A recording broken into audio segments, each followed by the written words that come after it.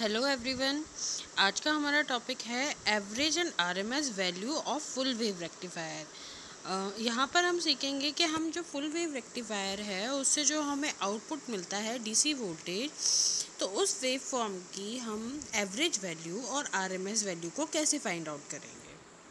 चलिए, आइए हम देखते हैं।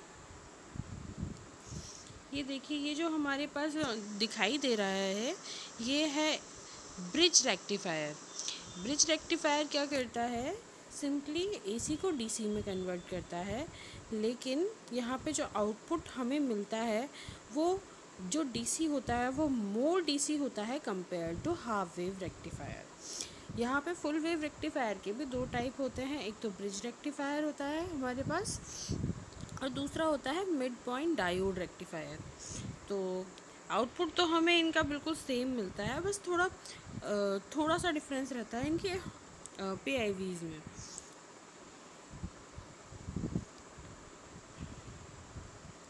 ये देखिए जो हमारा ब्रिज रेक्टिफायर है इसके इनपुट में हमने एसी वेव फॉर्म दी जैसा कि आप देख भी पा रहे हैं आ, कि ये जो वेव फॉर्म है हमारी वो क्या है?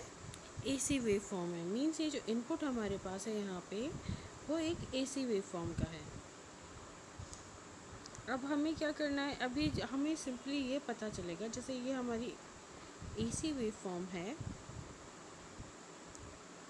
जैसे ये इनपुट में हमारी एसी वेव फॉर्म है। आ, ये जो एसी वेव फॉर्म है हमारी अभी जब हमारे पास पॉजिटिव हाफ़ साइकिल आई जैसे आप यहाँ पे देख भी सकते हैं ये जो हमारी पॉजिटिव हाफ़ साइकिल आई उस टाइम पे जो हमारे डायोड डी वन और डी टू हैं वो क्या हो गए हमारे फॉरवर्ड वायस मीन्स ये वाला डायोड और ये वाला डायोड तो हमारा फॉरवर्ड फॉरवर्ड बायस हो गया। और ये जो डायोड हैं, ये दोनों हमारे हो गए ओपन सर्किट तो इस टाइम पे जो करंट फ्लो हुआ हमारे लोड रजिस्टर में, उसका डायरेक्शन कैसा रहा कुछ? इस टाइप मीन्स ये रास्ते को उसने अपनाया और यहाँ पे जो हमें आउटपुट वोल्टेज मिला, वो मिला plus minus load resistor R के अक्रॉस, ठीक है? अब लेकिन जब नेगेटिव हाफ़ साइकिल आई, ये जो नेगेटिव हाफ़ साइकिल है, ये वाली आप देखिए, उस टाइम पे क्या होगा, हमारे डायोड जो डी थ्री और डी फोर है, वो क्या होंगे ये जो डी थ्री और डी फोर है, ये क्या हो जाएँगे हमारे शॉर्ट सर्किट और इस टाइम पे डी वन और डी टू जो है, वो हमारे हो गए ओपन सर्किट तो इसके कारण क्या हुआ हमारा कि जो सर्किट बना, देखिए आप, फिर से सर्किट जो बना, ये वाला और ये वाला, ये दोनों तो हमारे हो गए, क्या हो गए? शॉर्ट सर्किट और ये जो थे हमारे डी थ्री और डी फोर ये हो गए हमारे सिंपली ओपन सर्किट तो ये हमारी वेव फॉर्म की लाइन है। तो देखिए यहाँ पे हमारा जो था डी थ्री और D four negative half cycle के लिए, वो क्या हो गया? शॉर्ट सर्किट और इस टाइम पे जो हमारा सोर्स वोल्टेज है, वो यहाँ पे तो नेगेटिव होगा और इस पॉइंट पे क्या होगा? पॉजिटिव तो हमारा ये जो डी टू है, ये तो ओपन सर्किट हो गया और डी वन भी ओपन सर्किट हो गया और डी थ्री और डी फोर जो हो गए हमारे शॉर्ट सर्किट हो गए। अब देखिए करंट कैसे फ्लो होगा? ये डी थ्री से होता हुआ जा रहा है, फिर लोड रजिस्टर के अक्रॉस इस शेप में। फिर यहाँ से ये गया। यहाँ पे आया नेगेटिव से एंटर हुआ और वापस इसने अपना रास्ता जो है वो कंप्लीट कर लिया।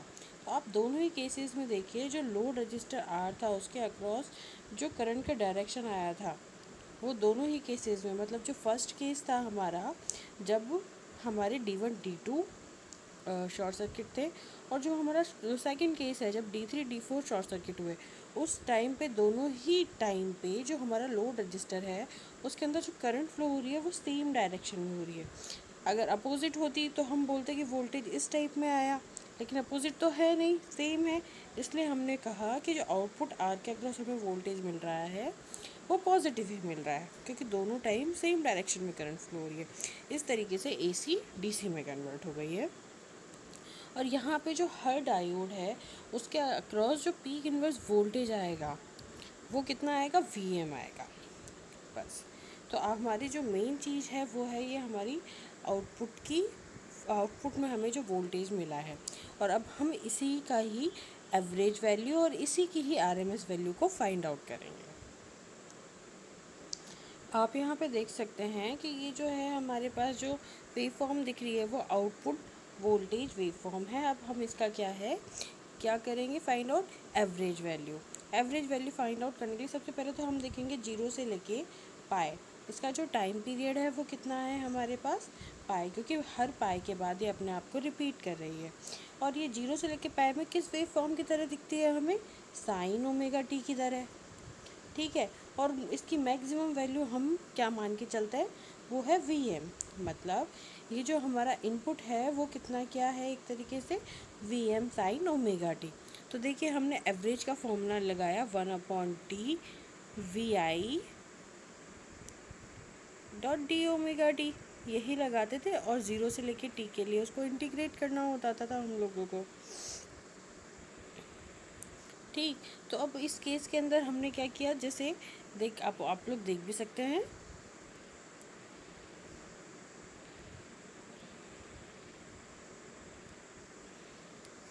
कि यहाँ पे हम लोगों ने क्या किया? ये देखिए आप यहाँ पे ज़ीरो से लेके पाई के लिए हम इसको इंटीग्रेट करने लगे। क्योंकि ज़ीरो से लेके पाए के लिए हमें इसे देखना पड़ेगा। पाए इसका टाइम पीरियड है। अब हमने यहाँ पे जब नीचे आए तो हमने इस वी एम को क्या किया? आउटसाइड ले लिया। और यहाँ पे लिखा sine omega T D omega T का हम इंटीग्रेशन करेंगे। अब साइन ओमेगा टी का इंटीग्रेशन क्या होता है? माइनस कॉस ओमेगा टी इसमें हमने लिमिट लगा दी, ज़ीरो से लेके पाई। अब हम लिमिट पुट करेंगे। देखिए, हमने माइनस को तो बाहर रखा। पहले रखा कॉस पाई, फिर माइनस कॉस ज़ीरो। ठीक है? तो अब ये माइनस जो है, अगर हम इसे अंदर मल्टीप्लाई करें तो क्या हो जाएगा? हमारे पास cos zero minus cos pi बस जस्ट इसका उल्टा हो जाएगा। अब देखिए, अब कॉस ज़ीरो की वैल्यू क्या होती है? वन होती है। और कॉस पाई की वैल्यू क्या होती है? माइनस वन होती है।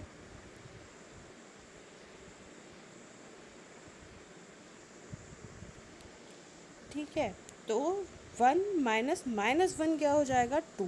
तो हमारे पास जो एवरेज वैल्यू निकल के आई, वो कितनी निकल के आई? Two V M upon pi मतलब जो हमारा फुल वेव रेक्टिफायर है, उसका जो आउटपुट वोल्टेज होता है, उसकी एवरेज वैल्यू कितनी होती है? टू वी एम अपॉन पाए चलिए अब हम फाइंड आउट करते हैं आर एम एस वोल्टेज इसी वेव फॉर्म की। तो देखिए हमें फॉर्मूला पता ही है। फॉर्मूला पता ही है, हमें input wave form time period भी हमें पता है कि पाई है और जो हमारा वी एस है, वो हम क्या मान के चल रहे हैं? V M sine omega T अब आपको केवल फॉर्मूले में ये सारी वैल्यूज़ पुट करनी है। देखिए, हमारे पास क्या है? अंडर रूट है। वन अपॉन टी ज़ीरो से लेके टी टी क्या है यहाँ पे? पाई है।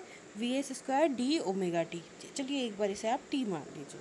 अब नीचे आइए। टी हमने क्या माना? है टी इज़ इक्वल्स टू कितना है? पाए हमने नहीं वेव फॉर्म से देख सकते हैं। ये जो पीरियड है, वो कितना है? पाई का। हर पाई के बाद ये अपने आप को रिपीट कर रहा है, इसलिए टाइम पीरियड इसका पाई होता है। ठीक है? अब आप आगे बढ़िए। यहाँ पे देखिए, ये जो वी एम है, एक तरीके से कांस्टेंट है हमारा तो वी एम को स्क्वायर करके हमने बाहर निकाल लिया। अब हमें इंटीग्रेट जो करना है, वो किसको इंटीग्रेट करना है? साइन स्क्वायर ओमेगा टी को। अब यहाँ पे इसको अगर बिल्कुल भी बाहर निकाले तो वी एम का स्क्वायर है, उसके ऊपर रूट है तो मतलब वो वी एम हो गया। ठीक है, और पाई है, पाई के ऊपर स्क्वायर तो है नहीं तो इसलिए अंडर रूट में पाई हो गया।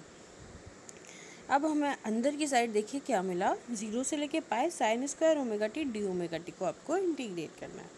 अब जैसा कि हम फॉर्मूला जानते हैं टेक्नोमेट्री के अकॉर्डिंग कि साइन स्क्वायर ओमेगा टी जो होता है, वो किसके बराबर होता है? One minus cos two omega T divide by two तो हमने इसकी वैल्यू को रिप्लेस करके यहाँ लिख दिया। जैसा आप देख रहे हो यहाँ पे तो अब हमें इंटीग्रेट जो करना है वो इस वैल्यू को इंटीग्रेट करना है।